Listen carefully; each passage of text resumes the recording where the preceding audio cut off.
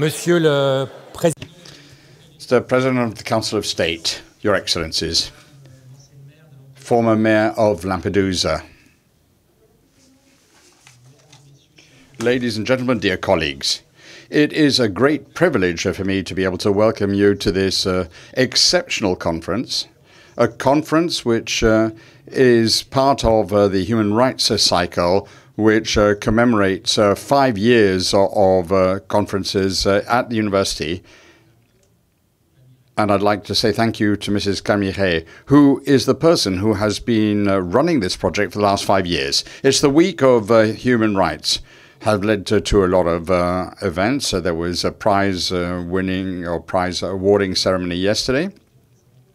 And uh, I think some of you may have attended the ceremony yesterday evening.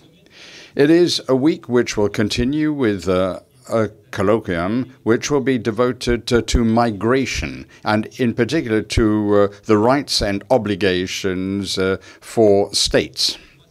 The Human Rights Week, which uh, is also going to continue with an event which is organized for young people in the canton of uh, Geneva. 400 young people are going to come uh, to the university tomorrow in the auditorium next door, and uh, they're going uh, to see a film. We at the University of Geneva want to uh, really share these experiences uh, with as many people as possible, especially with the younger generation.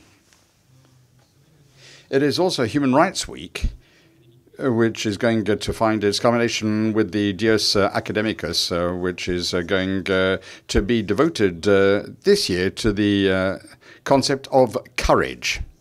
We've got two exceptional guests. Mrs. Uh, uh, who is uh, the Nobel uh, Peace Prize, and Mr. Ben Achour. Both of them, in their respective uh, countries, have uh, dealt with issues relating uh, to uh, human rights, and they have shown an immense uh, level of courage. Mrs. Mayor, you also showed a lot of courage to defend the cause of migrants with the passion that uh, marks you out for a just cause. A cause which perhaps led you to uh, lose your position as mayor of Lampedusa. But I think that is a, a level of courage uh, which we should uh, pay tribute to today.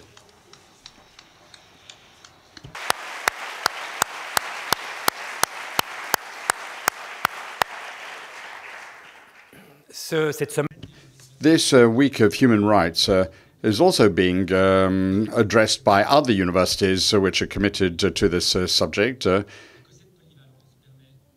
Universities are multivalent, uh, multifaceted uh, organizations, and uh, that is also why we also need to look at uh, the whole process of migration from different uh, perspectives, from a socio-economic perspective, from an economic perspective, and all those different perspectives are important if we wish to understand the phenomenon and also to perhaps develop new instruments which will allow us uh, to address what is becoming a more and more urgent problem, particularly in Europe. And it is also something which marks uh, all the political elections uh, which are taking place around us.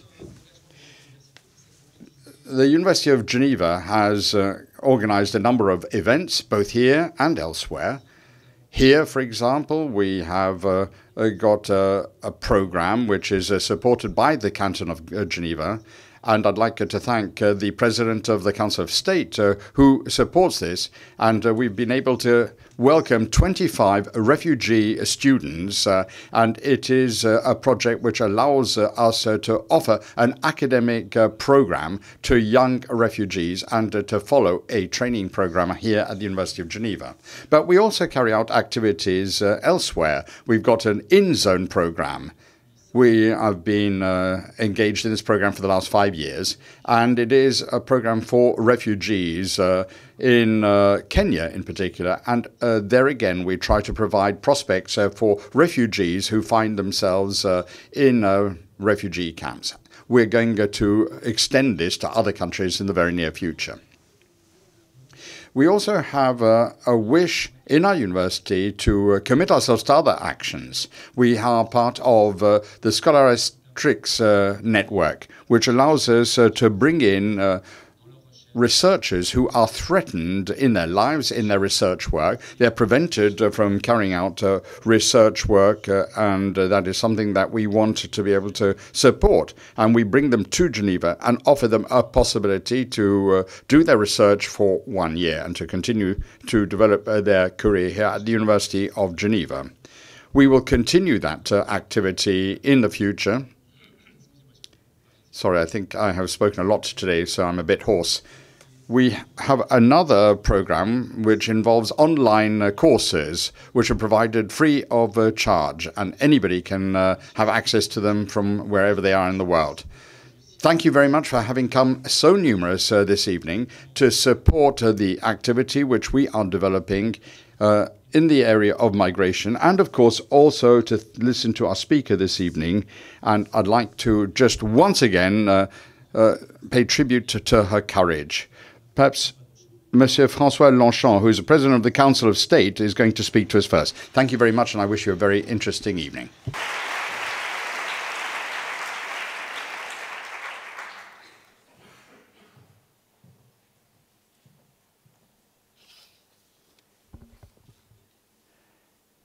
Excellences, Excellencies, Dean, former Mayor of Lampedusa, ladies and gentlemen, professors, representatives of the international organizations, former President of uh, the uh, of Switzerland, Mrs. Calmy-Rey. It is an honor for me this evening uh, to speak to you on behalf of uh, the Geneva government and to address a few words to you.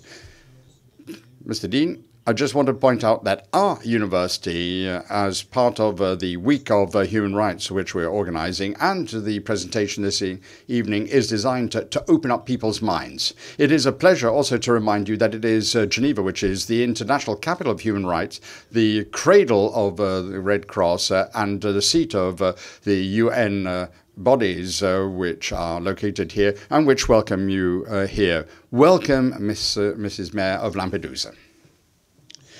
Ladies and gentlemen, for those of you who were born out of the Second World War, belonging to a generation uh, whose parents and grandparents uh, didn't know perhaps uh, the war themselves, there is still one outstanding question. Would I have been a resistant or would I have been on the side of uh, the perpetrators of violence? I've got a work by Pierre Bayard here, and he tries to address this existential question.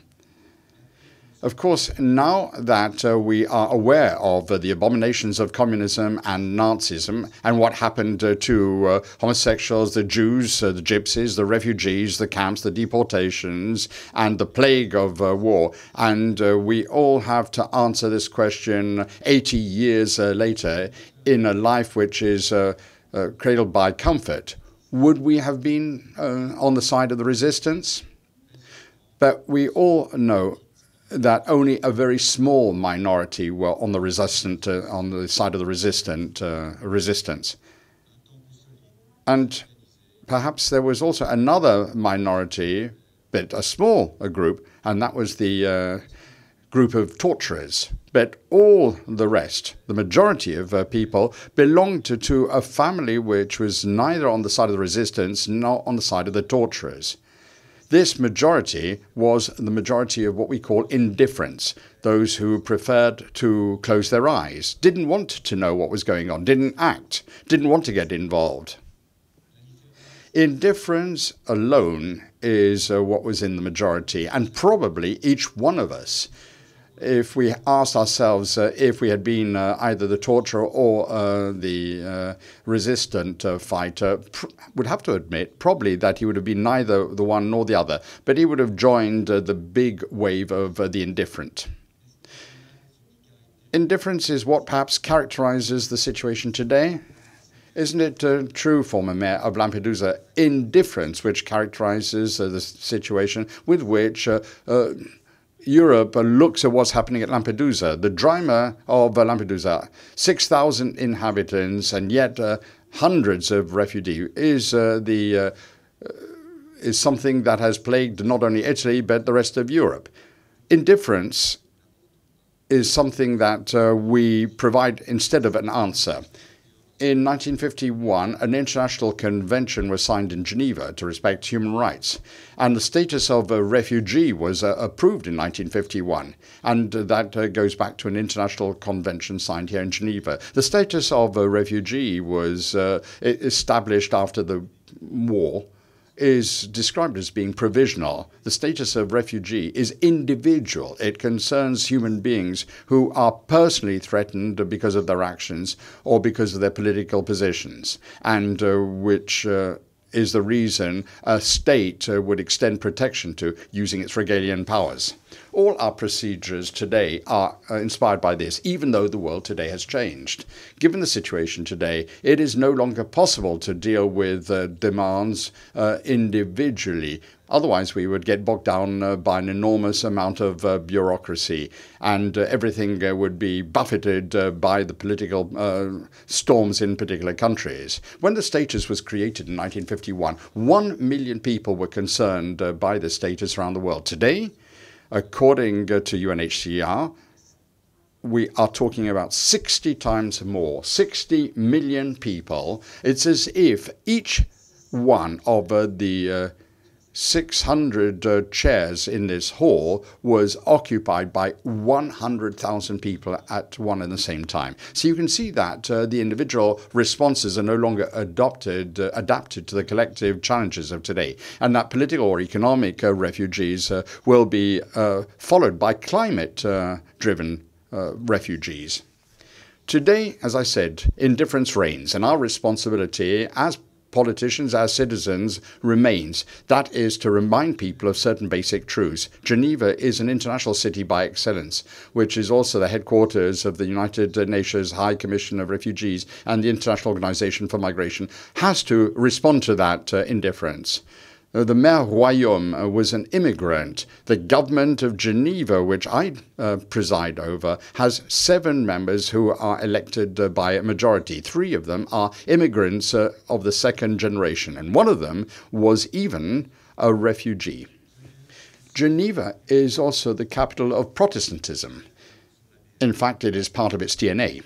And yet, Protestants today only constitute 10% of the population today without uh, Geneva having lost that part of its identity. And like many cities uh, that succeed most of our active uh, citizens, that is to say, the people who participate in uh, the production of our wealth, come from a foreign country. In fact, that was already the case in the 17th century at the time when the escalade took place, when uh, the Savoy people attacked the city of Geneva. So this is a historical constant uh, in Geneva. Our collective responsibility has to be found there. We have to fight against rejection. We cannot uh, simply allow ourselves to wallow in indifference. We have uh, to uh, contribute in our own way to the resolution of the collective uh, challenge that faces uh, the world and which is posed by migration. So Lampedusa is probably the uh, um, revealer of the fears of the world. So, former mayor of Lampedusa, we are impatient to hear you here this evening in Geneva.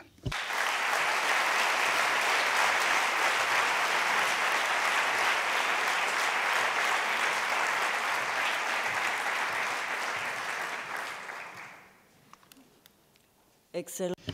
Excellencies, President of uh, Council of State, Rector, ladies and gentlemen. This year, in the month of April, Europe woke up with more than 700 deaths, and that was just in one weekend. As of when uh, does the intolerable start, and what is the responsibility of states, governments? And what is our responsibility when we have to deal with such a phenomenon? I have uh, the pleasure and the uh, chance to be able to introduce Mrs. Giusi Nicolini, who is a former mayor of Lampedusa. Giusi Nicolini comes from uh, Lampedusa herself. It is a small island uh, which is uh, 20.2 square kilometers in size with less than 6,000 inhabitants and which is located 200 kilometers south of Sicily, much closer to the island of Malta and Tunisia than it is to Italy. Giusi uh, Nicolini, her real name was Giuseppina Maria Nicolini, uh, was committed to politics very uh, young.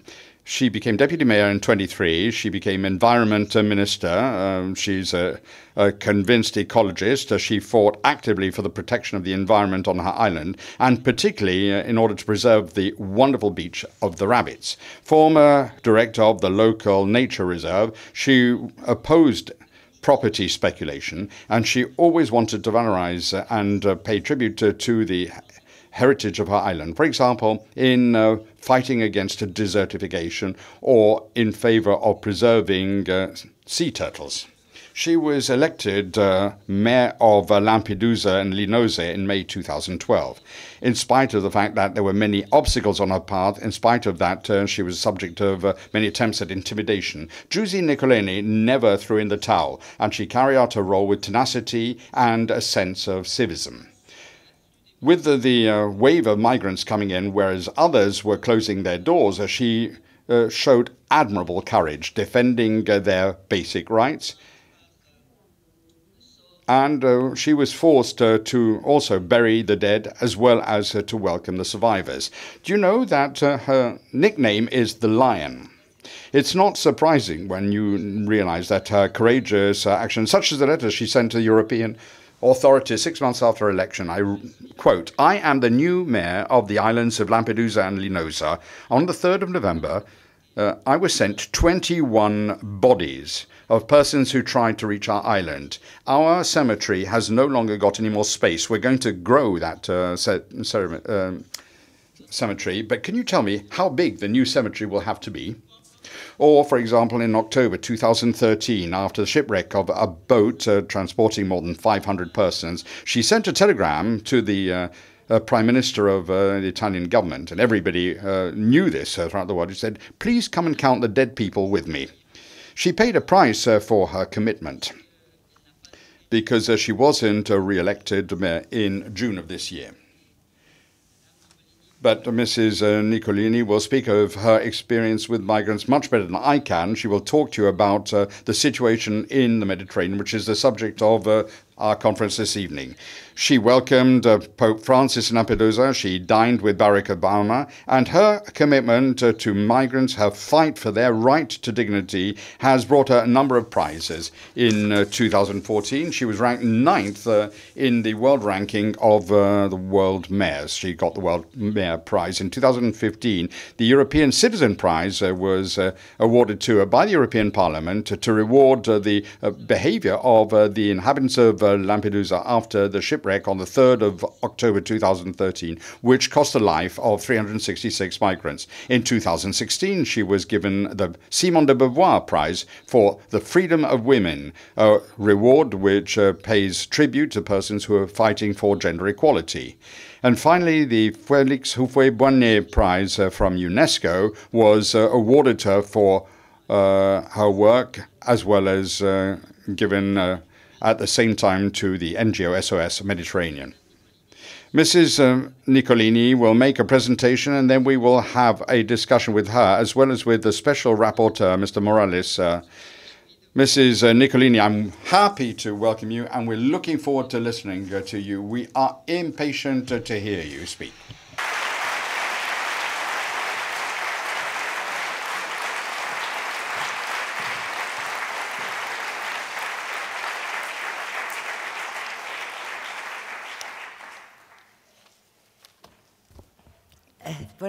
Good evening to you all.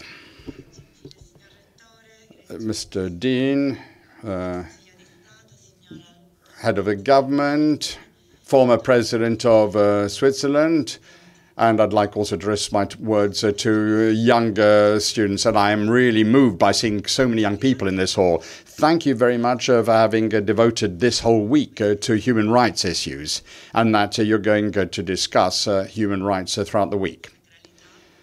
I think that this is something uh, which has a sacred uh, nature. And it seems that uh, Europe has lost uh, its memory. It has lost its way uh, when it's uh, being developing the European project. And also, thank you very much for having accepted to come and listen to me telling you about my experience during the five years in which I was mayor of Lampedusa. And I'm very moved to, to do that here in Geneva, in a city uh, which uh, uh, really is the cradle of uh, human rights.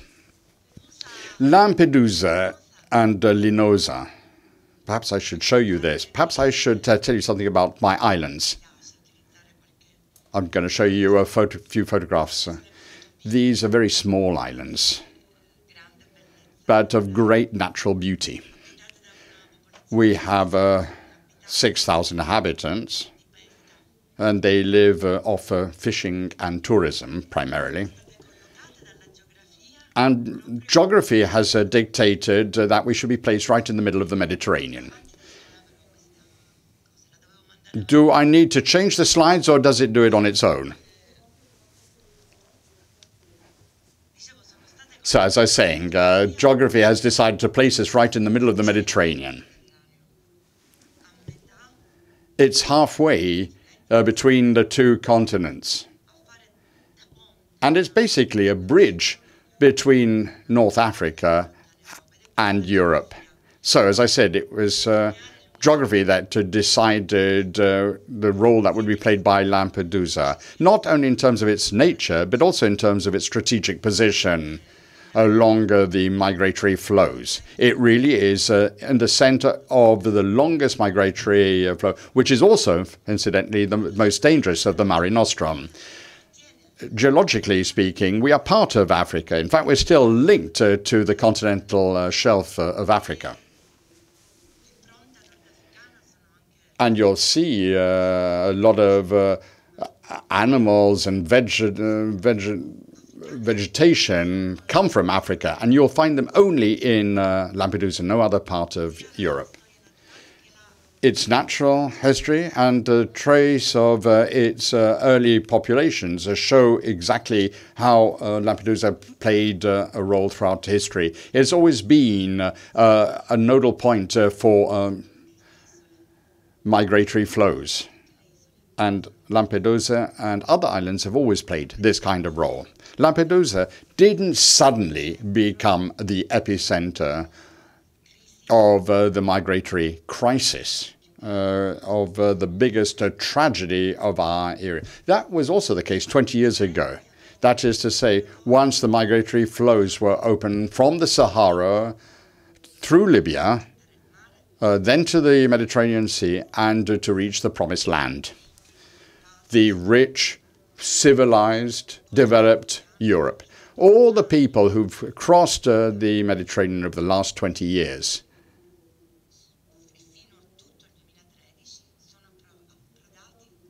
have almost all landed in Lampedusa, almost exclusively. So we have been left to our own devices for so long. It is something that's indescribable. It is basically like a life raft. We are a community which has played its role. On behalf of Italy, on behalf of the whole of Europe. And uh, we've been able to overcome our fears and to remain human even when we were worried about our very survival. Not because of a threat of invasion, no. Not because we were afraid of uh, illnesses that were going to be carried to an island, but uh, because of uh, the uh, na narrative used by certain politicians uh, island that was uh, degraded by an invasion of barbarians. That has really damaged our tourism. That has damaged the development of our communities. And it's also um, done a lot to give a fillip to those policies which are aimed at closing the borders of Europe. And people who are left outside, left to die, forced to be able to beg for help, uh, to uh, ask for help uh, while they're in the water. And uh, it was all left to small places uh, such as Lampedusa. No less a person than the Pope has come to Lampedusa. In fact, it was in July 2013. And he broke through this whole barrier of uh, loneliness and indifference. And he said that uh, the drama was not the invasion of migrants, we've heard uh, the report uh, by the uh, uh, president of the university. If you look at the numbers of uh, people who uh, uh, been forced uh, to uh, leave their homes for different reasons war, terrorism, conflict, poverty, uh, change in climate. Those are much greater than the few lucky people who are actually able to reach our shores. But the Pope came along and he said uh, that uh, the uh, drama was actually what was horrendous was all the deaths. I think that Lampedusa has illuminated uh, this drama. And the Pope said, as soon as I realized that uh, under the sea there are 20,000 uh, dead persons, that was in 2013, that's how many people we expect lost their lives in uh, the sea. He said, I felt as if uh, I was being stabbed in the heart, and that's why I came here.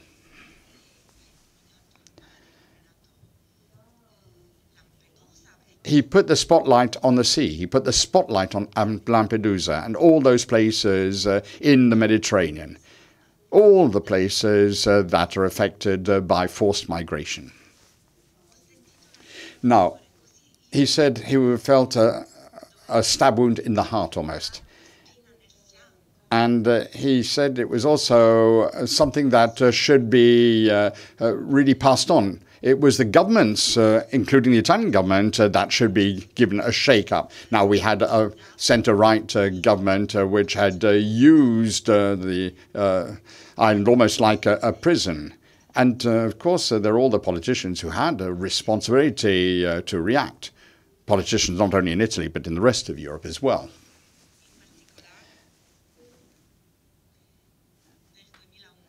In 2011, and we saw in some of uh, the photographs, uh, you saw that uh, this uh, was a boat full of uh, people with layer upon layer of uh, persons. some people traveling in the hull, the poorer people, people who couldn't pay, then also the children who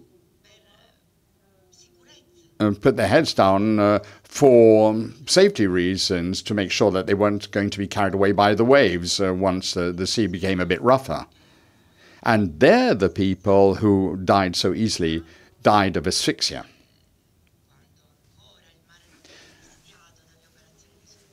And uh, at a time uh, before the uh, uh, boats came out to, to, save persons, there were a lot of uh, smaller boats that went out to help people and rescue them. In 2011, the uh, island, which I took over as a mayor, had already gone through this shameful period in 2011. It was the Arab Spring. And in February and March, 25,000 Tunisian uh, children tried to leave Tunisia and they managed to reach Lampedusa. And the Italian government left all these young people in uh, Lampedusa, announcing to the rest of Italy that Lampedusa has managed to stop uh, the invasion. Now we've got 160,000, 180,000, but at the time, with just a, a small number, only 25,000 Tunisians. Now, they would have stayed in uh, Lampedusa in order to uh, protect uh, north uh, of Italy. And it was hoped uh, that they would be repatriated from uh, Lampedusa. But that was impossible. It was absurd because you have to repatriate people on an individual basis and you've got to provide a legal basis to people who are going to be sent back home. And uh, you've got to have agreements with the governments uh, to take uh, their citizens back. Now, there was an agreement with Tunisia, but even now, even today, it is very difficult to, to send uh, Tunisians back home because uh, uh, there are certain limits that will be accepted by Tunisia. And it also depends on uh, the uh, amounts of money that are available from the Italian government uh, to pay for the repatriation of these persons. So it was impossible for 25,000 persons uh, to be repatriated in just a few weeks or even a few months. And as uh, the uh, reception centers only had space for 300 persons, you had thousands of young people were being simply kept in conditions such as these, amongst the rubbish, uh, in the cold, and all the public uh, welcome centers were occupied it was basically just a layer of human flesh. And the covers were provided uh, by the citizens, but often there weren't enough of those covers or blankets. And sometimes uh, they burnt uh, the rubbish in order to uh, uh, get some heat.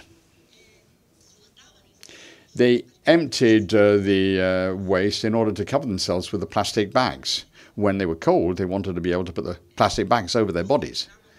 We distributed uh, these uh, waterproof uh, uh sheets uh, to protect them from the rain, but there were thousands of them and we didn't have enough. These people were mm, sleeping under the trucks. They just wanted to have something over their heads. The degradation. People were forced to live in these conditions.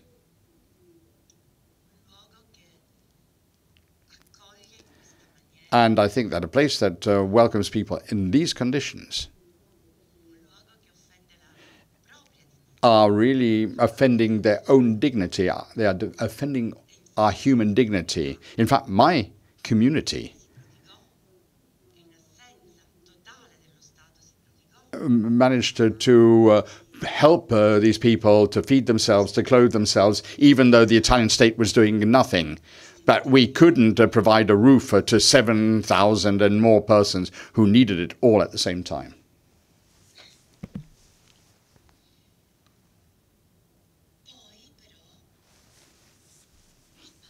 And then Pope Francis, after the big uh, shipwreck in uh, 2013, which I will talk about in a moment, uh, uh announced the, the, launch of the Mare Nostrum uh, project. But that's how Lampedusa came out of its lonely position and started working together with other ports in Sicily, Sardinia, and Puglia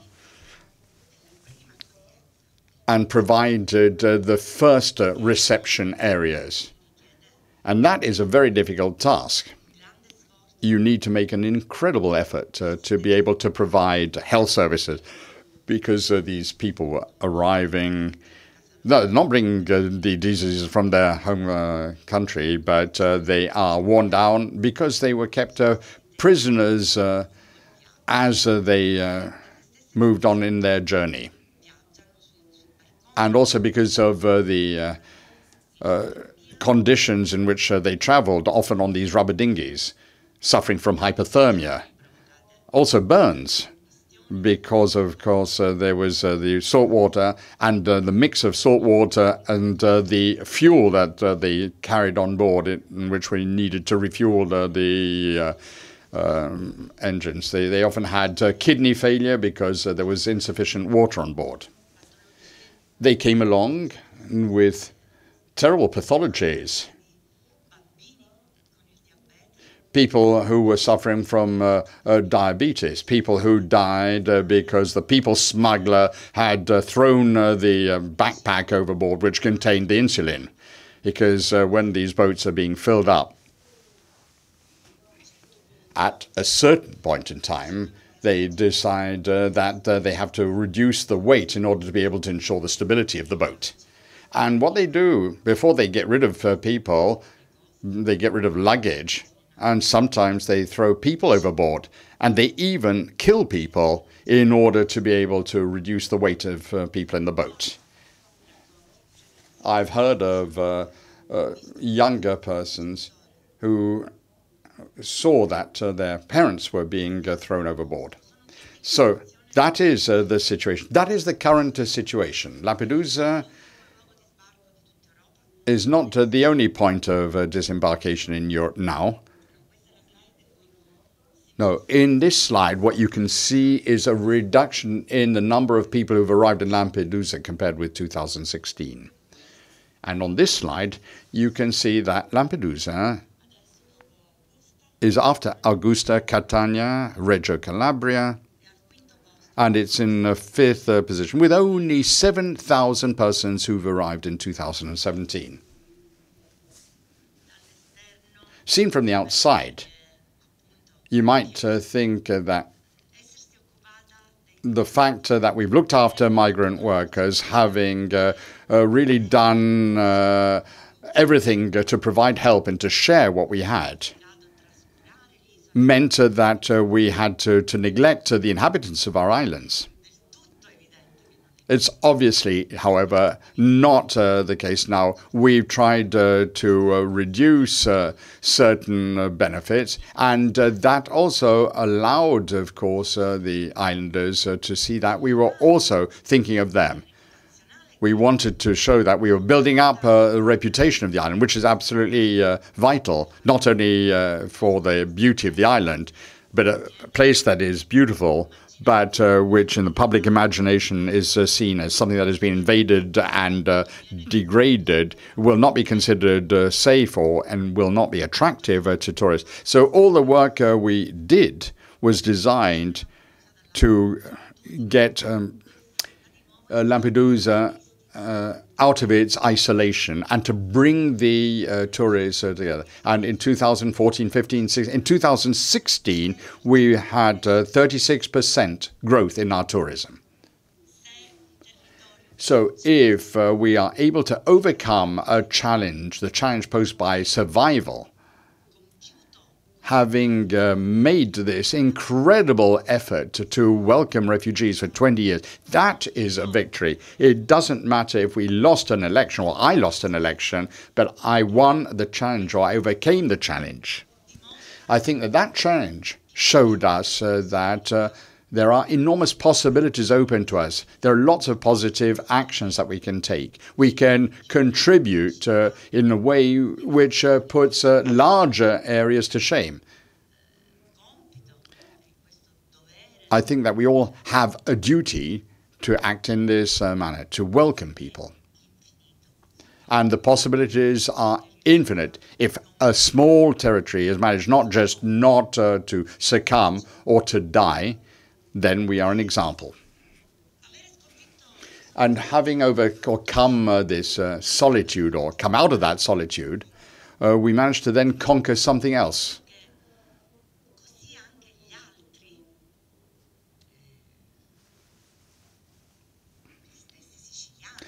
Even the Sicilians or people from Puglia or other parts of Italy were able to see what we were doing.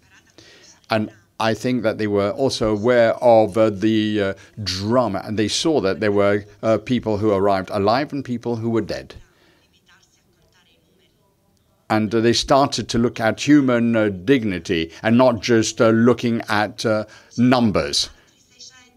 You know, another 600 people have arrived in Lampedusa. Just numbers upon numbers upon numbers. What does this evoke in people's minds? Masses of people who are invading a territory and uh, they're not uh, individualized, as if they were not individual persons.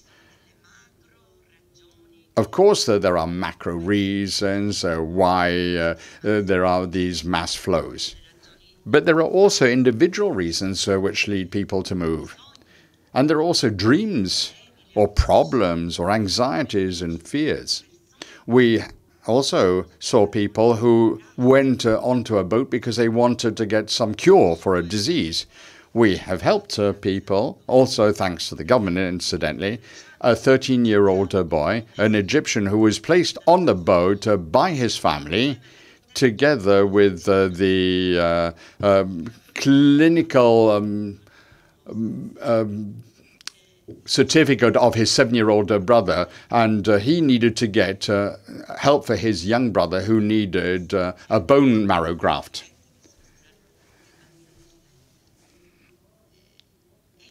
This uh, young person was helped uh, then in Florence. So the situation is much more complex than people would have us believe.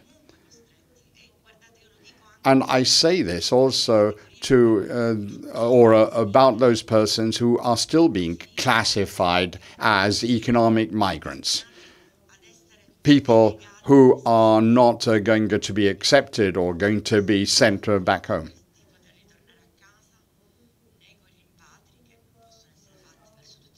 And you can't repatriate people in uh, all countries. And a lot of uh, these people who are meant to be repatriated are simply left to their own devices. What is an economic migrant? What does it mean today? We see that there is new forms of slavery, new forms uh, of poverty, which are aggravated uh, by the fact of desertification, climate change, drought, uh, famine. What does all this mean? What does it mean to, to be an economic migrant? Does it mean he chose or she chose to leave? Yes, there are some people who choose to leave, and there will always be a percentage of people who could stay at home, could stay in their own countries. There are countries, however, where this is not possible, and where the wealth uh, is exploited in such an unequal manner. I think that all the people who leave Africa are trying to escape uh, being subjugated and uh, exploited. When we say we want to help them, we've got to understand uh, that uh, we've uh, got to adapt to, complete, to completely new, different policies. Policies based on cooperation, but also policies which prevent the exploitation of people living in those territories. I think that what made Lampedusa so special because of its uh, geography, its uh, location, is the experience uh, that we have had. This is uh, the relocation uh, data. We were meant to have a, a reception center, and it was uh, expected that 27 or 24,000 would be sent back and 3,000 from Greece. Now, two years have gone by, and only 9,000 have been uh, resettled from Italy. I think that you can see that uh, all these uh, countries are closing their borders. They're being extremely selfish. These people were meant to go to countries like uh, Poland. Poland was meant to get 200 refugees, only 200 refugees, and they said no. You spoke about courage, but I think uh, there is uh, a bit of fatigue on uh, on the part of uh, small territories such as uh, Lampedusa or Lesbos. And if you see what's happening in the rest of Europe, other countries have taken in only 9,000 of all the people who've who've come off boats since 2015 to the present day.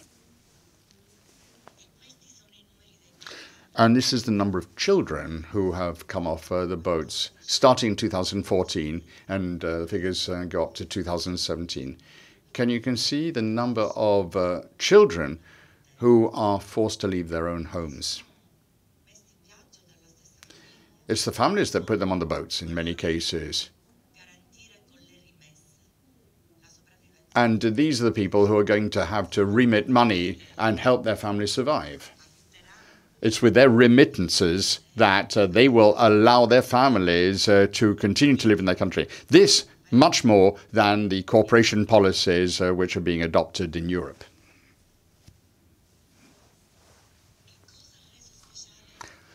So, what has made uh, my people, my island so special? The experience of an encounter and the experience of uh, shared pain and also the experience of death.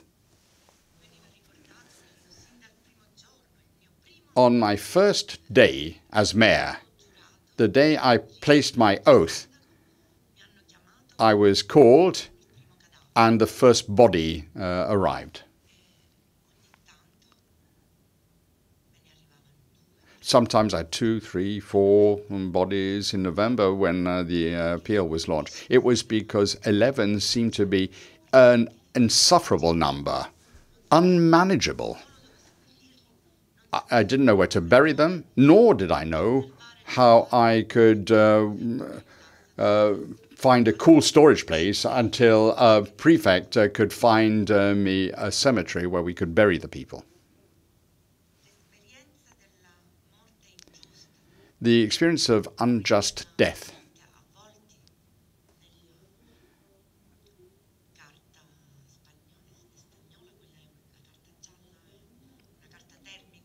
you know those uh, special thermal blankets or uh, aluminium uh, foil um, sheets that are placed around people when people uh, arrived.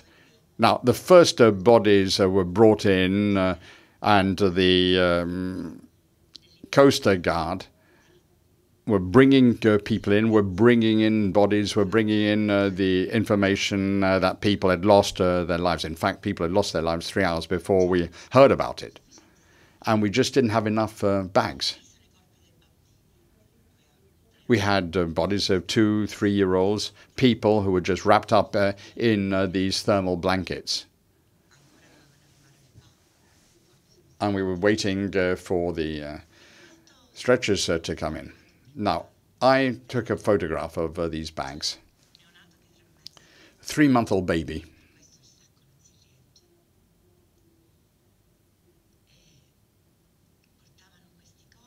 And all these bodies were being brought in.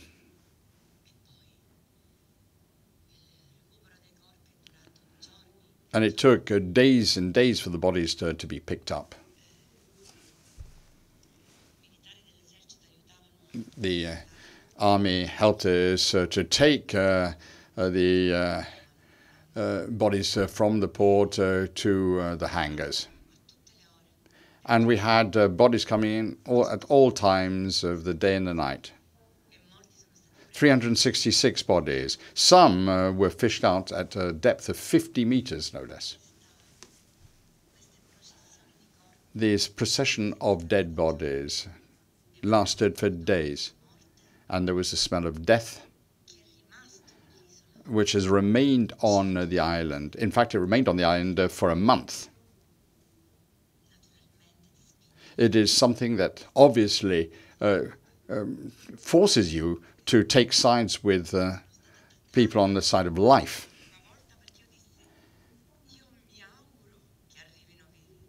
I hoped that people would arrive alive. And when people said, well, yes, there, there are people disembarking, I was happy people were disembarking and that it wasn't a boat full of uh, dead bodies.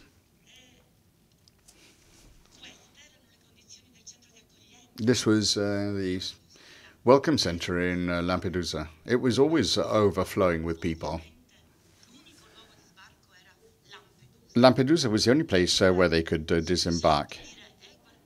We couldn't say to them, you know, there are 800, there are already a thousand, because what do you do with the others? Do we put them back into the sea or do we leave them to come back onto land? And the welcome center, the reception area was always full. It was always in a terrible condition. In fact, it wasn't only not a dignified uh, situation, it was inhuman. These mattresses uh, were actually from the rubbish bin, and uh, they were building sort of uh, little uh, huts like animals. This was the Lampedusa Welcome Center.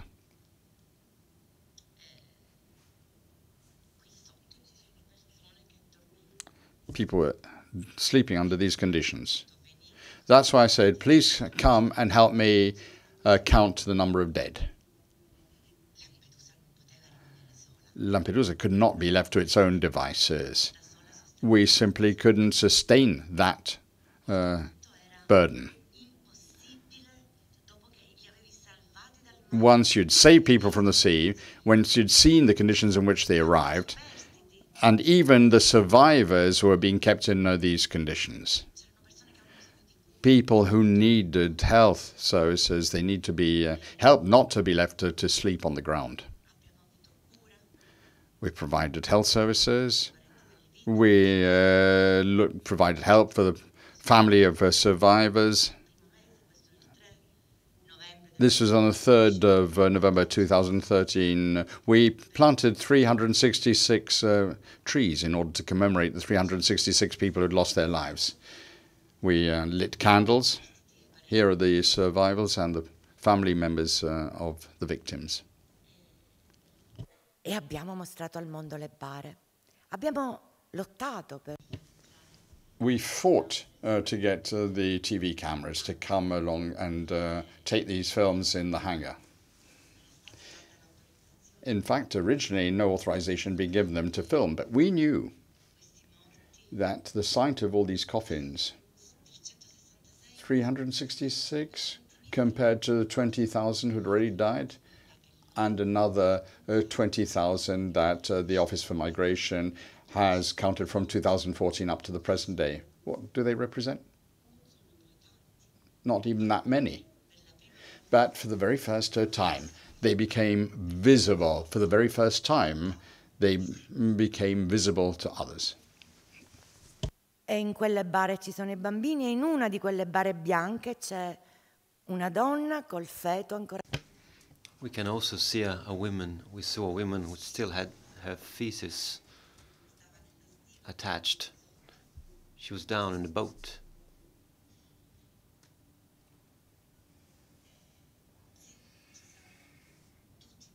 Of course, we all kneeled in front of those coffins.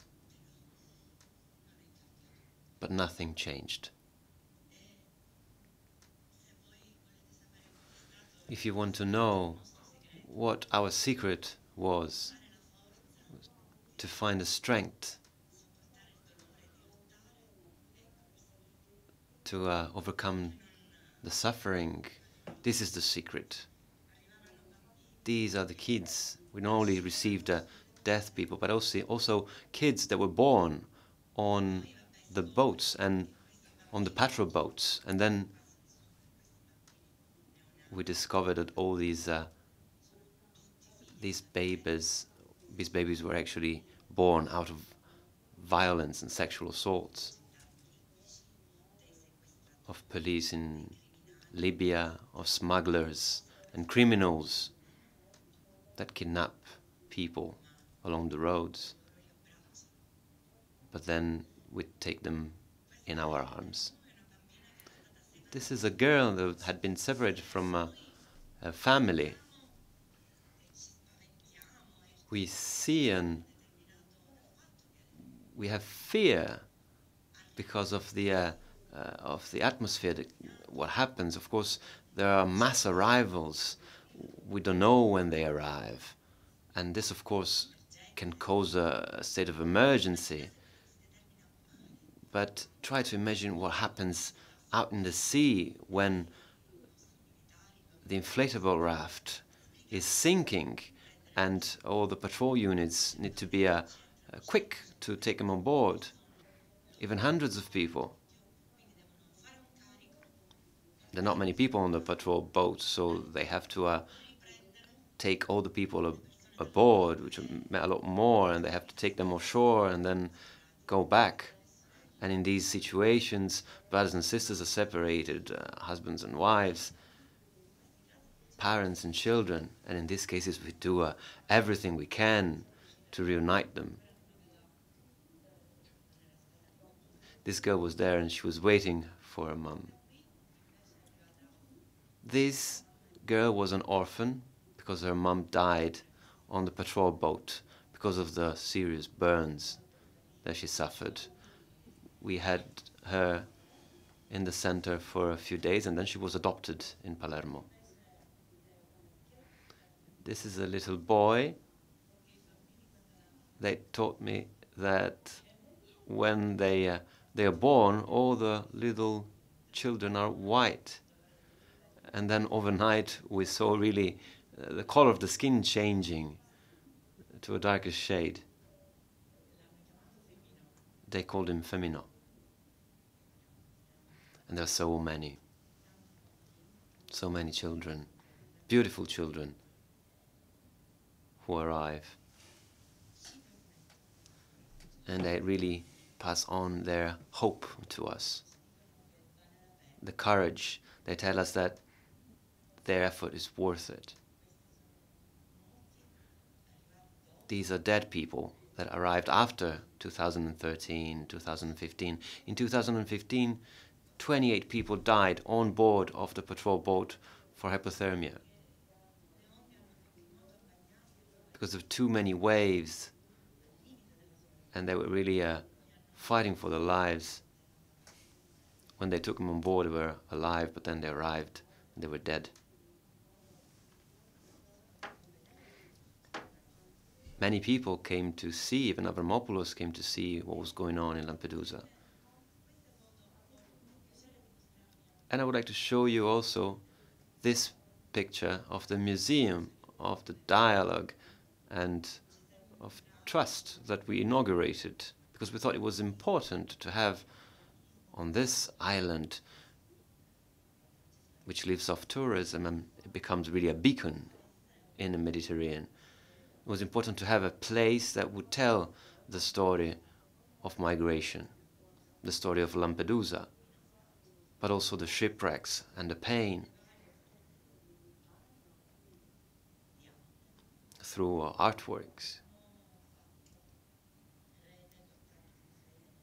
We have worked together with many museums uh, all over the Mediterranean that sent some artworks. I think that the idea of sharing our knowledge and to tell the story of humanity is something that we should always do uh, with a growing effort. But politicians are afraid of uh, what's going on in Europe right now. Also, uh, some parts, we had the Amorino Dormiente of the Caravaggio from Florence to remember Aylan. That child that moved the whole world. But we uh, cry in front of uh, a dead child and then we uh, send away the uh, the ones that are alive. And we showed all the artworks together with some of the objects that the dead people had with them uh, books, letters. The President of the Republic came to uh, the inauguration of the museum, uh, of the uh, exhibition. We also showed a car that a five year old uh, ch child that died had in its pocket.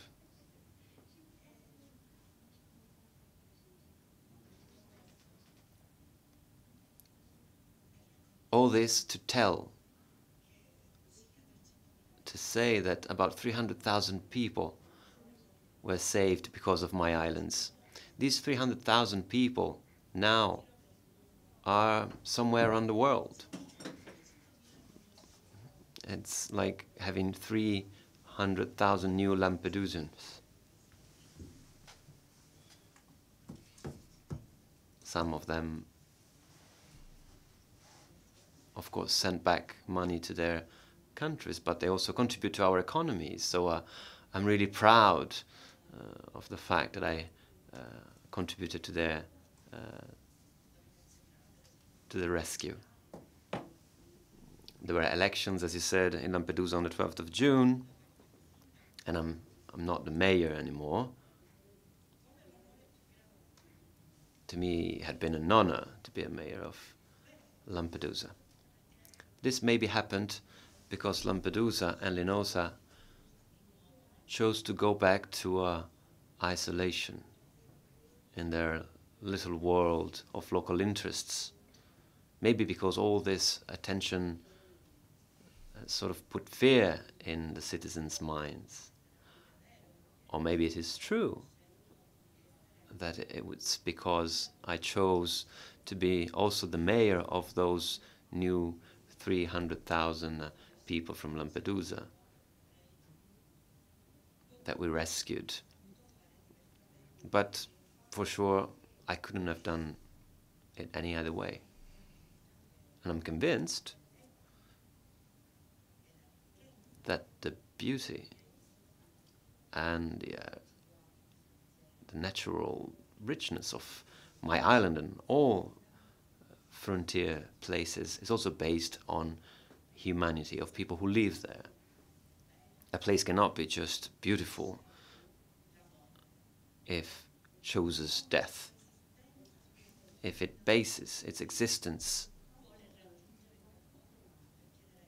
on the refusal of people who wants to reach that place to uh, live. A place cannot still keep its beauty if it turns its back on the sea. The sea that from which our civilization was born. Showing the courage of the small regions like Lampedusa, but not only Lampedusa. These regions show acts of peace. Pope Francis launched an appeal to young people, to mayors, and to communities you should build peace. If you live in Lampedusa, what can, what can someone do for peace? Something, the only thing that it's in his power, on her power, which is welcoming migrants and solidarity.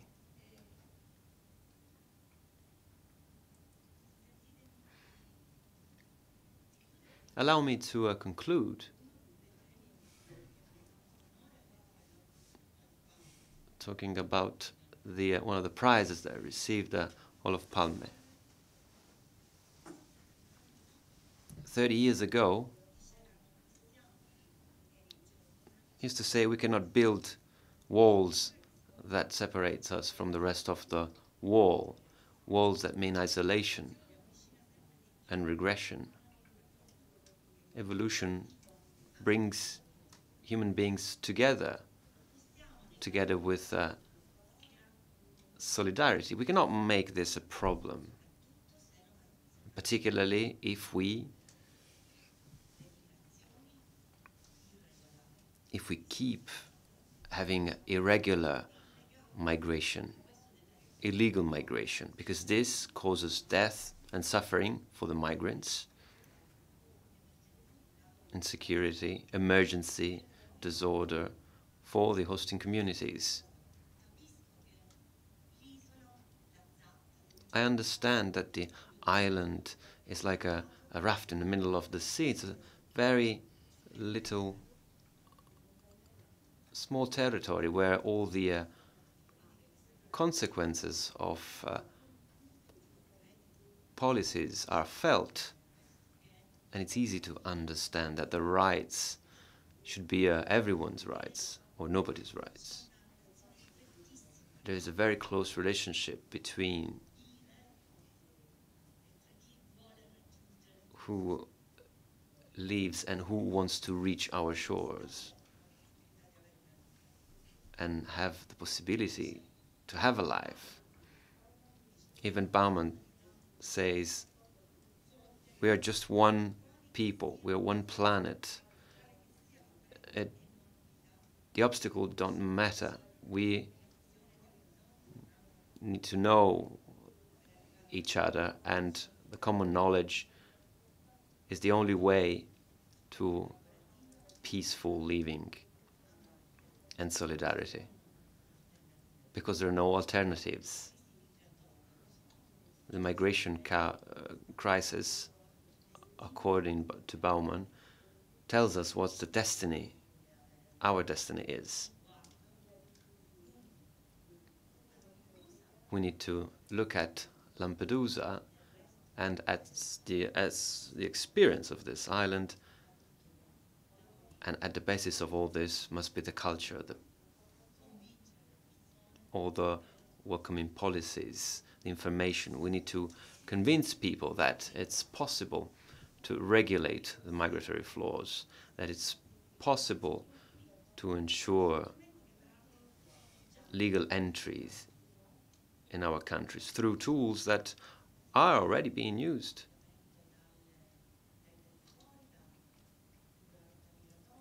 Uh, the uh, relocation on uh, the arrival, upon arrival, and in hosting countries. there should be a, the idea of asylum in all reception camps. We should be worried about the camps in Libya at the moment. The agreements that Libya and Italy concluded didn't decrease the number of dead people because they actually increased. In 2016, there was one dead for each 100 people that reached the shores alive. In 2017, one out of every 49. So the decreased, death decreased because less people arrived. But also the rescue operations decreased. NGOs were sent away. The boats that were there, these organizations that were there where Europe was not, helping Italy that was left alone. In this very moment, Italy is in the same condition as Lampedusa has been for 20 years. There are no other solutions. The only way forward is to manage these processes that have been in place for millions of years, and there will always be. We just need to choose how to regulate them. We need to talk. We need to discuss how we should show we should share the burden of responsibility which cannot only rest on the countries on the frontiers of the Mediterranean but we should not forget there are other countries in Europe that have done more than Italy more than France more than Eastern Europe, Germany welcomed only 1,350,000 Syrians in 2015 and still is the best performing country for relocation. Germany welcomes more than any other country in Europe, more migrants. We need to do all needs to do, everybody needs to do its part. Because also the fight against terrorism, the most difficult challenges comparing to receiving migrants will be we receive a help with this because welcoming migrants is a gesture of peace. Thank you.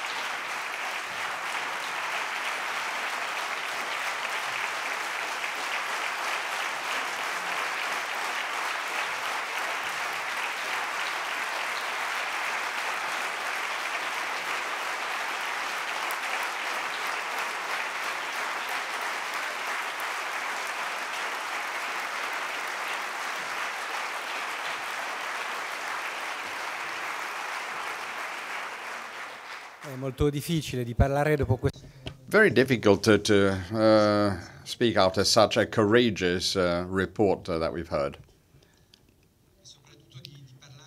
And also, it's very difficult uh, to uh, speak with dignity of a tragedy uh, which has not only struck Lampedusa, but has struck the whole of Europe. So, thank you very much for your presentation. Before I open the debate up to all the participants, perhaps I should ask Felipe Gonzalez Morales uh, from UNHCR, who's a special rapporteur of the human rights of immigrants who is uh, going uh, to give us another perspective, and uh, he's going uh, to look at the political and institutional approach uh, to this issue. Mr. Gonzalez Morales, the floor is yours.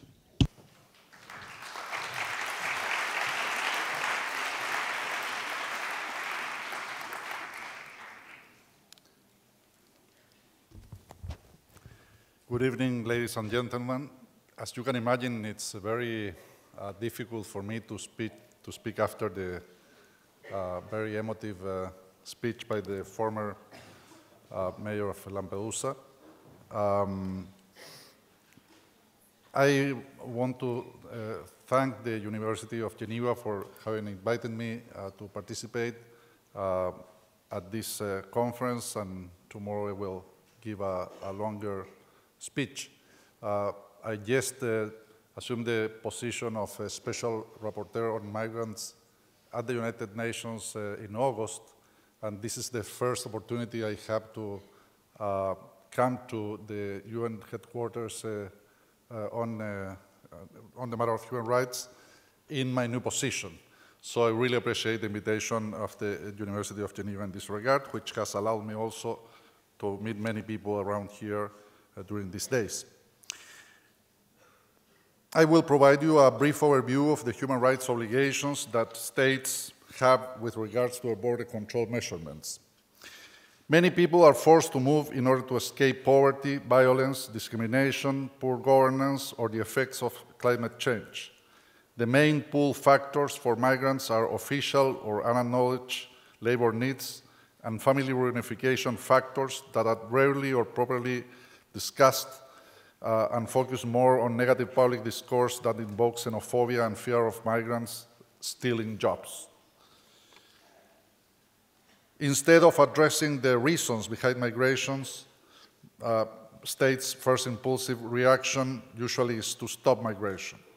Often states respond to increased migration movements by creating and progressively increasing barriers to mobility with a focus on securitization repression and deterrence policies. The central objective has been to secure their borders by building fences, using violence to stop undocumented movements across land and sea borders, using long-term detention as a deterrence tool, and carrying out collective expulsions to countries of origin and transit, all of which are too often conducted without sufficient assessment of individual protection needs and adequate oversight. Moreover, states have moved their border management activities beyond their territorial borders, extending them to the high seas and third countries. So states may determine who has the right to enter the territory, while at the same time being bound by, to international obligations. But what does this mean?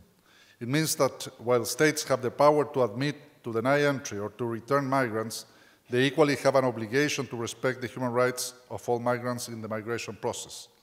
States also need to respect certain limitations, such as the principles of the best interest of the child, family unity, and non-refoulement, as outlined in the UN Convention Against Torture and the UN Refugee Conventions. Practically speaking, this means that states must increase their search and rescue capacity and refrain from pushbacks at land and sea borders. The militarization of border control creates unnecessary suffering and leads to violations of human rights and humanitarian law at borders. States need to develop procedures, guidelines, or systems for ensuring that search and rescue is implemented as a paramount objective, taking into account what should be done with those who are rescued. Upon arriving undocumented uh, in countries of transit or destination, all migrants fall within the category of irregular migrants.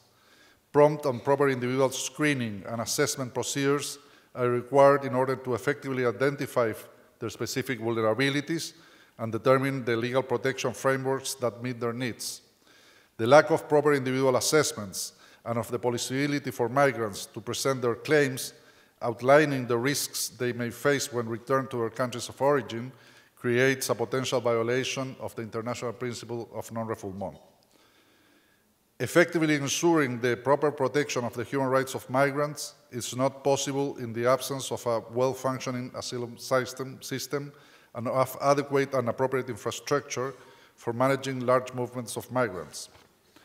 Despite legal prohibitions, pushbacks and refoulement to countries of origin and third countries with weak rule of law and poor asylum, poor asylum systems have been improperly conducted under broad auspices of bilateral agreements. It is important to note that the return of migrants who do not meet the required international or national legal standards to remain in their host country must be conducted in safety with regard to dignity and respect for human rights on the basis of the primacy of voluntary returns, cooperation between states of origin and reception, and enhanced reception and reintegration assistance for those who are returned. Mandatory detention upon arrival should be abolished. Many rights-based alternatives to detention exist, including registration requirements, the deposit of documents, the payments of bonds, or bail on the provision uh, of a surety or guarantor, and so forth. A number of countries have moved towards open reception facilities, in particular for vulnerable migrants such as unaccompanied minors and families. Generally speaking, detention should only be used as a measure of last resort and only allowed for the shortest appropriate period of time. Member states should ensure that alternatives to detention are available in law and implemented in practice. Families with children and unaccompanied children should not be detained purely because of their administrative immigration status. The detention of children, even for short periods, can have severe psychological consequences for their development.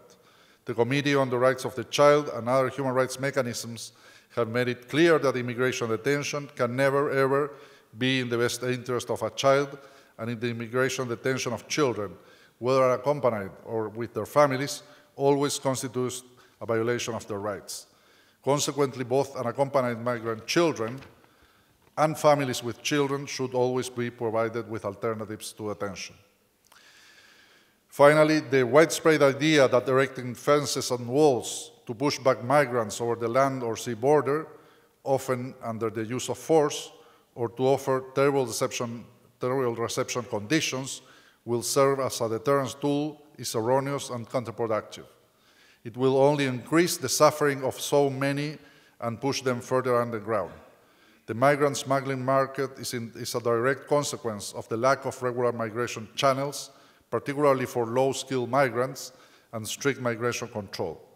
States should recognize the pull factors, such as the unrecognized labor needs, and open up more regular migration channels, including for low-skilled workers. If states want to control their border, they will have to open up more channels for migration, including for low-skilled migrant workers, so that migrants no longer have to use smugglers and venture on perilous journeys. I thank you for your attention. I'm happy to answer any questions you might have.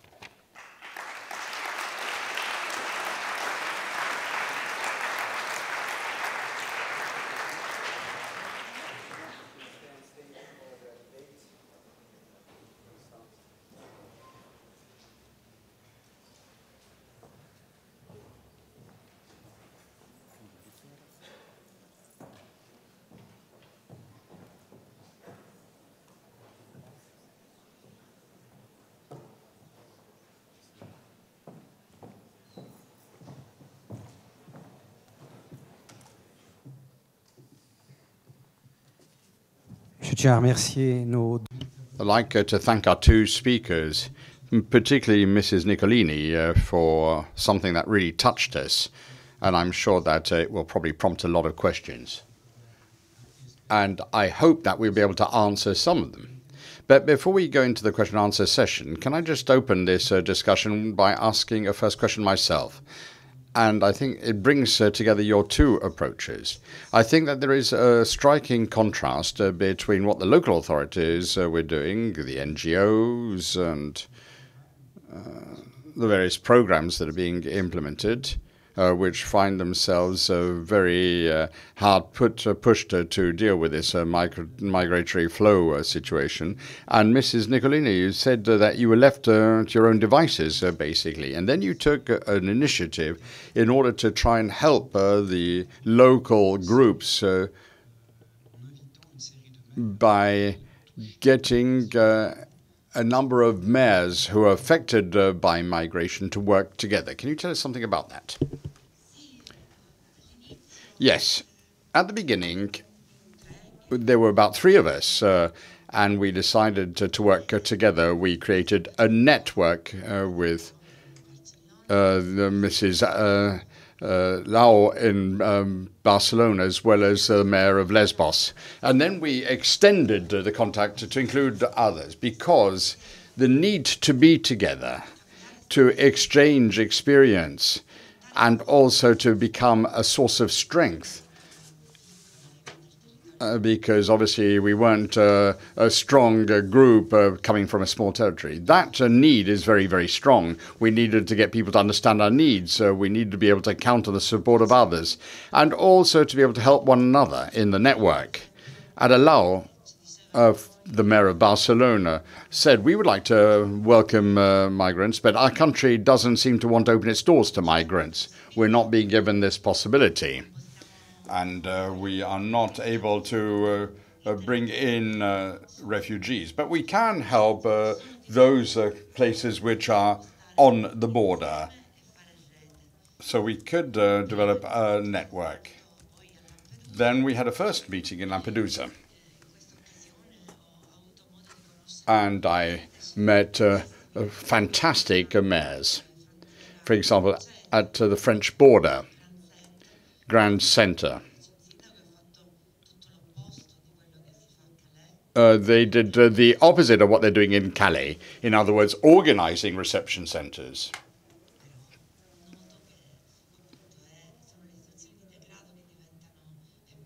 But it's only the degradation that becomes emblematic, and uh, this is what is being shown on televisions all over the place.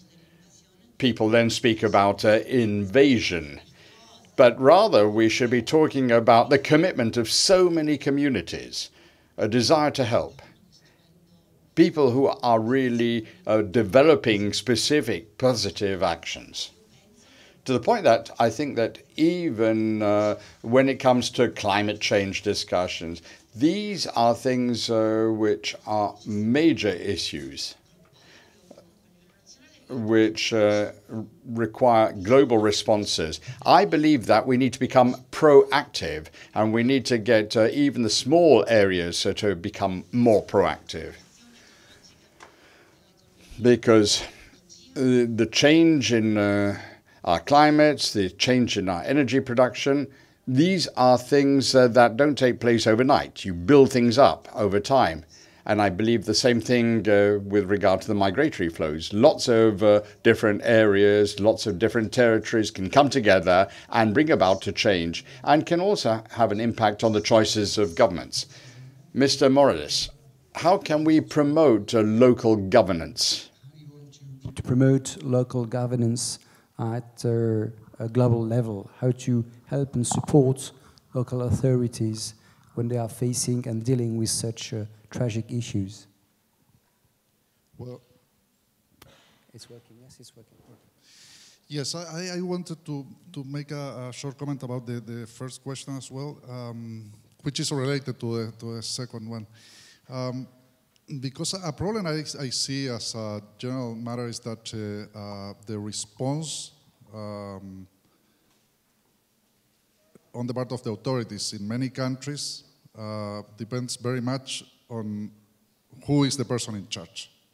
Uh, this example in Lampedusa, I mean, shows the, the, the, the very good side and a very good response, uh, but it really was a, a matter of the, the, of the reaction by Mrs. Nicolini.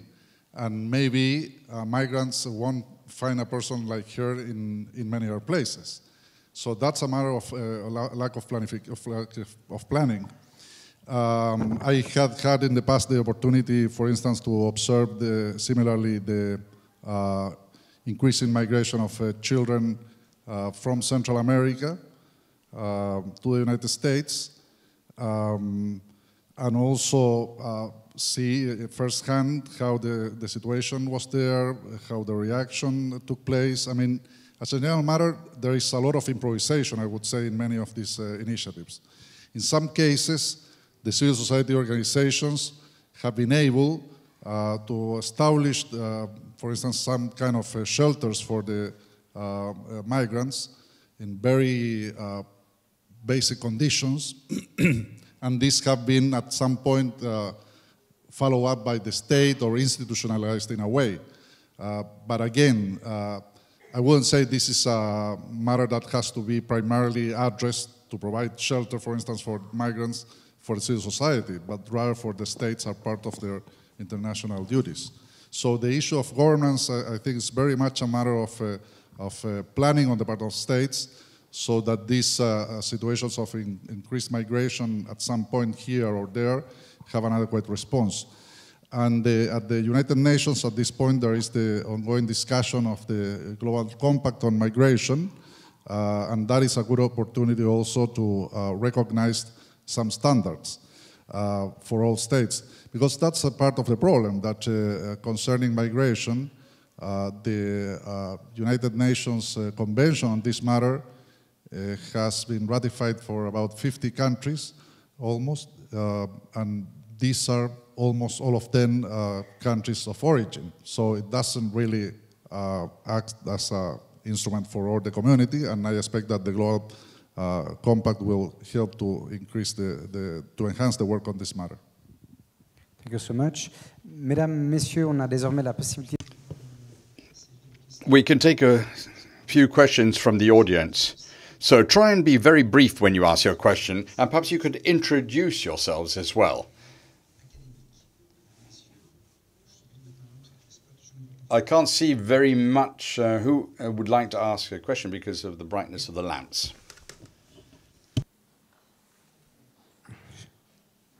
Je vais me lever parce que je ne vois rien. Perhaps I'll just stand up because I can't see anybody. Pardon. Dans la première partie, il y a déjà. Oui. Go ahead.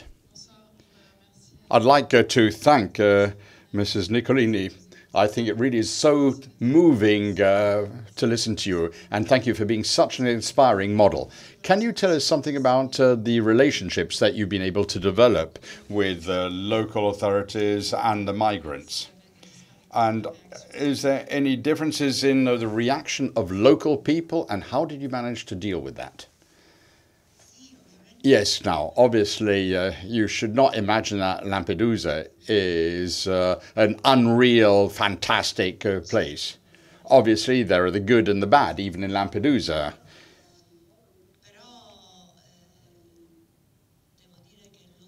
But I think that the spirit, the dominant spirit in the community as a sea um, based community, as a, an island community,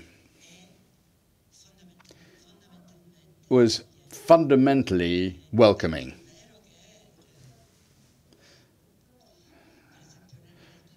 In 2011, for example, I think you saw this in the pictures, you saw these terrible pictures, but there were families uh, that opened up their homes uh, to some of the refugees, gave, gave them a, a bed, uh, allowed them uh, uh, to take a shower or to get out of the cold.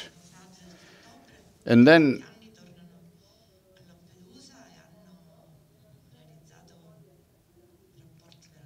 there are some people who have uh, developed very um, close relationships, particularly with the people who saved the uh, survivors. And uh, we see people coming back to the island uh, to uh, renew their relationships with those that helped them. I think that uh, this also changes people's mentalities. Now, in my presentation, I didn't speak about the actions that we introduced during some of the most uh, dramatic moments in order to provide uh, psychological support uh, to the refugees. Even uh, the people who are providing uh, first aid. There was, for example, a fisherman who was amongst the first who provided help, and he mm, fished out the people who were uh, alive, but also some bodies. And it took him six months before he would venture back out onto his boat because, uh, of course, he was proud of the work uh, that he'd done, but at the same time, he felt uh, guilty for not having succeeded in uh, helping to save more. And that is why he needed real psychological support. These are experiences which mark you and which lead you to change. But it also brings about cohesion and uh, strong links of solidarity emerge as a result of such actions. If I had to, to summarize this, I'd say that anybody could become a Lampedusan citizen faced with a situation such as this. Thank you. I think that there is a gentleman in the third row. On va vous amener un micro. A microphone is being brought to you. You can answer, ask your questions in Italian. Sì, ehm, due domandine. I've got uh, two questions. I'm a, a, a Sicilian, so I'll ask you uh, a question from a Sicilian uh, perspective. And I've uh, spent uh, many uh, seasons in Lampedusa, so I know it uh, by heart. How has your perception of Europe changed over these years? Particularly in the light of all the things that you've seen, all the things that you've experienced uh, together with other citizens, and also there's uh, fatigue. How, how, have you changed? Yes.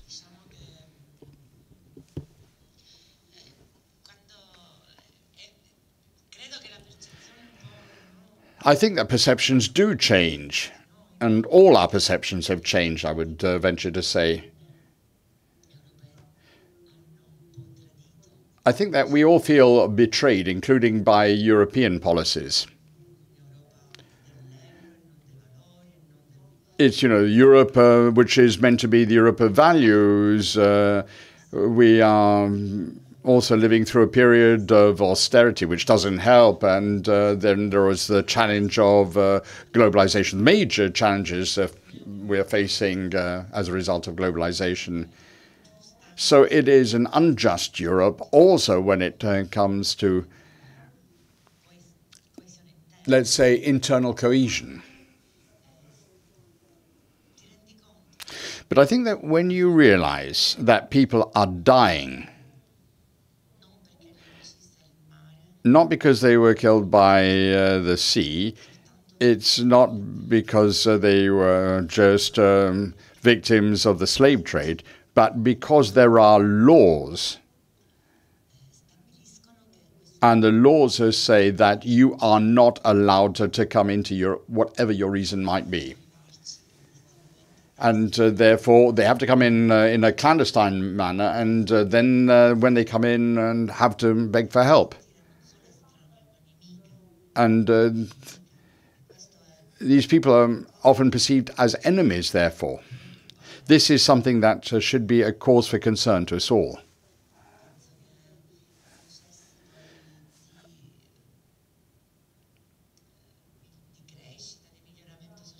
We want to see uh, growth. We want to see uh, improvement in uh, social networks. uh, and I think uh, that we need to, to recognize human beings. Now, in Lampedusa, uh, fishermen are saying, What kind of uh, um, Europe do we have uh, when they tell me how big the size of the fishing nets can be? And they're not even interested in saving people's lives.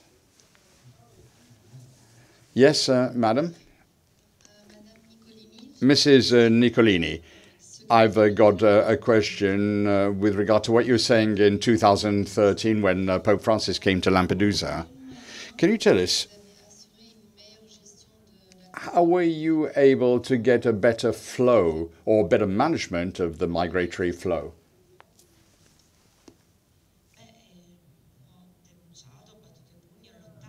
I uh, fought to get improvements.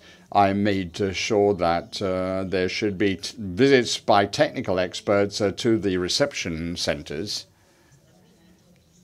and uh, certain standards uh, uh, had to be um, established. For example, we said uh, in the reception center, maximum number of people should be for 400, not for 800. That allowed us to, to improve conditions. I also asked uh, that if we're going to maintain human, dignified conditions for the refugees, we should uh, allow uh, for quicker transfers of uh, people to secondary reception centers, such as in uh, Sicily. And that should be done in all places of first arrival. Often you cannot plan uh, for the uh, arrivals, they're not regulated after all.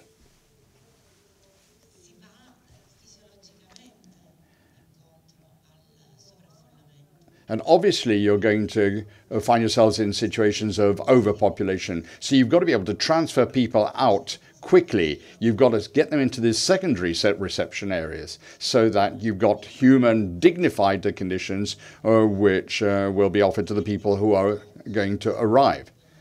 I think it's only when you are in the field that you realize uh, what needs to be done in order to improve things. For example, children, women, these are the people who need to, to be transferred out first.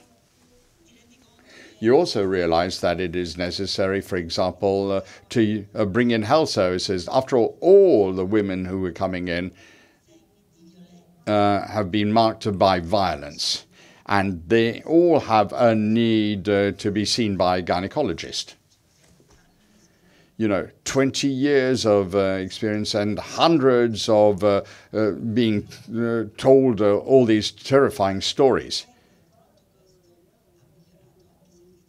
We were able, as a result, uh, to be able to improve for the services provided to the community. As you know, people say, well, they're bringing in all these illnesses. Well, if you want to uh, guarantee the health of uh, citizens, but also to the whole of Europe, after all, people are p- passing uh, through, obviously you need to have uh, health uh, service uh, teams, you need to have specialists, you've got also have cultural mediators. Because the way we relate to, to these people is uh, different. Often we need to, to be able to bring the doctors in with cultural mediators alongside them. I believe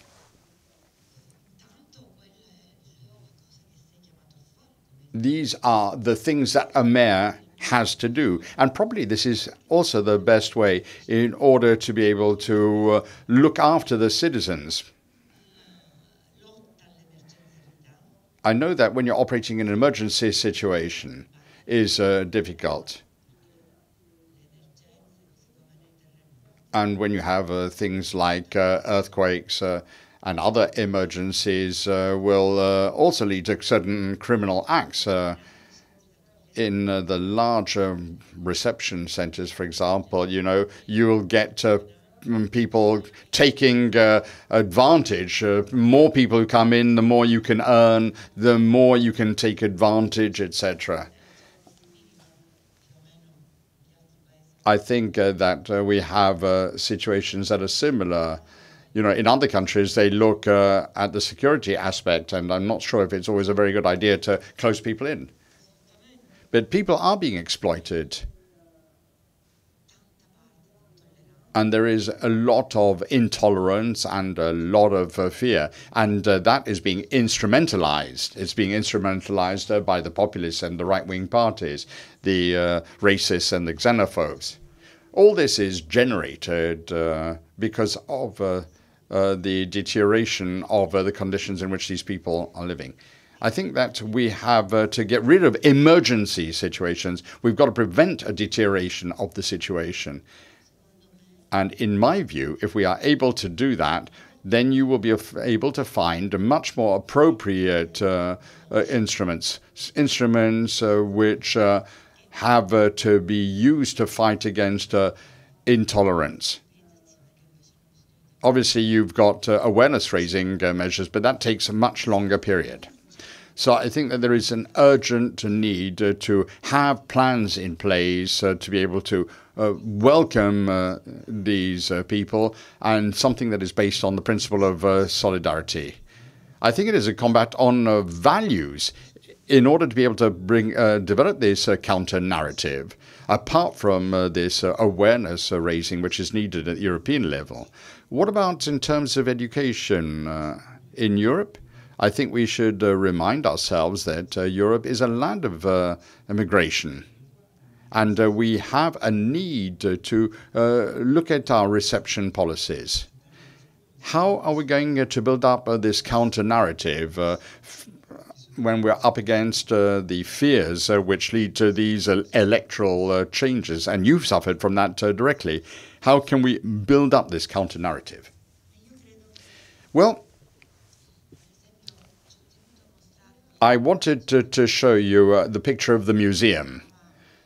Why? Because I think that this is an instrument which is fantastic, uh, which allows you to communicate to, to others uh, and also to other young people in Lampedusa. Memory.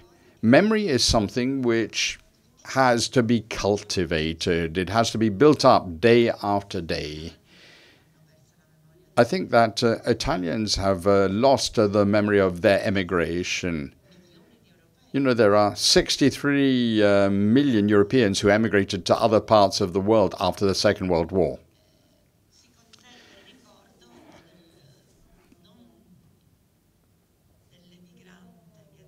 We don't remember the uh, emigrant uh, who went to, to find uh, work abroad, but we do remember the colonization, the fact that we dominated other countries and uh, there is a colonial attitude.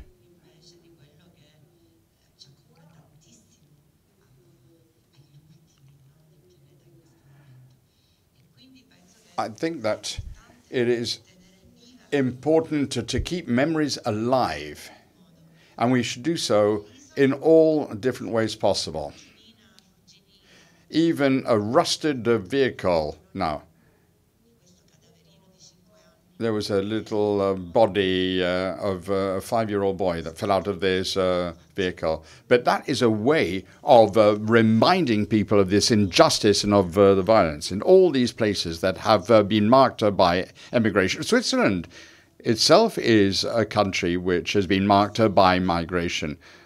A lot of immigrants uh, have come into Switzerland. And I think that uh, what we need to do is to remind people of this, to remind uh, countries uh, of what has been the contribution of uh, migrants, how they have created or contributed uh, to the wealth of these countries. Le travail de mémoire. Yes, uh, working on re- uh, maintaining uh, the memory alive. Uh, yes, madam, you over there. Signora, I uh, thank you from the bottom of uh, my heart. I would have liked to have gone to Lampedusa, and uh, I would have liked uh, to. That we need these people,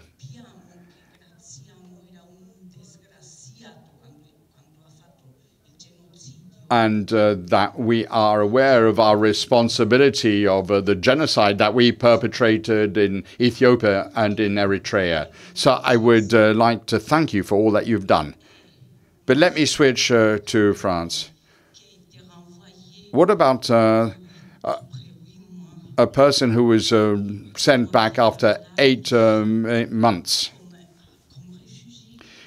a person who was uh, an asylum seeker, a refugee, and then that person simply disappeared the day before he was due to be sent back uh, from Italy.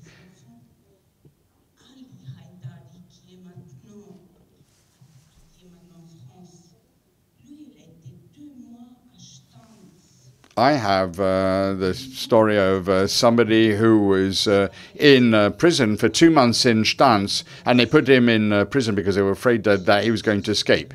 I'm sorry if I interrupt you. I think that we need just to concentrate on one aspect now. The detention of minors is a problem. At least uh, for our legislation, it is. And we're trying to get things to change. I, I think, what about the programs that we need to establish? Now, the Italian Parliament has adopted a piece of legislation on minors, probably which is the most progressive in Europe at the present time.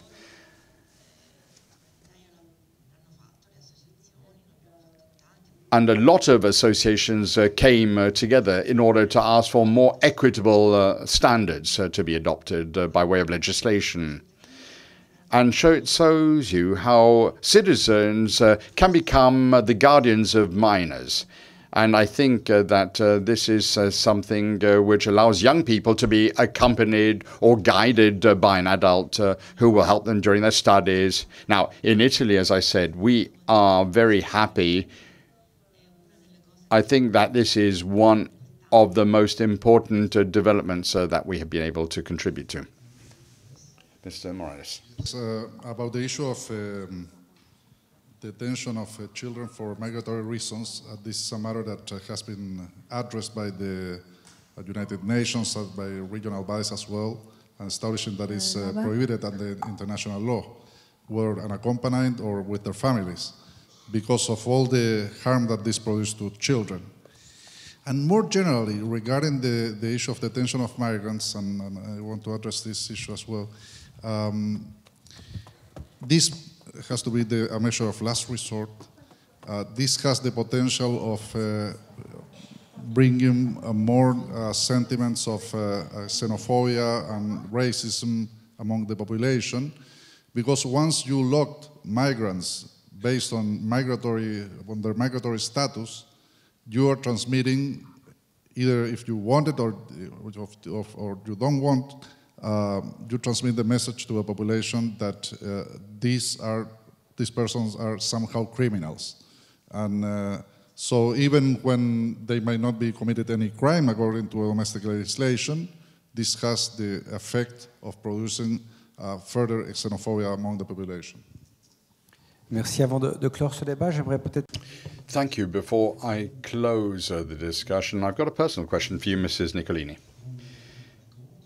You were an emblematic figure, the symbol of uh, the defense uh, of the rights of migrants and in the uh, policy of uh, receiving uh, migrants in Lampedusa. You lost uh, your position as mayor. Tell me, what is the next step in your political life?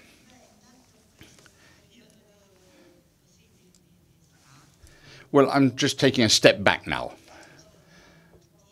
I'm uh, traveling around a lot, or I'm here to begin with. Now, I don't uh, want to, to renounce uh, political activity, and I wanted to continue the battle for things to change. And we want to get things to change as quickly as possible, because in the meantime, you've got children continuing to die, and we can't just uh, close our eyes and pretend nothing is happening. I think it is absolutely necessary that we manage in the briefest amount of time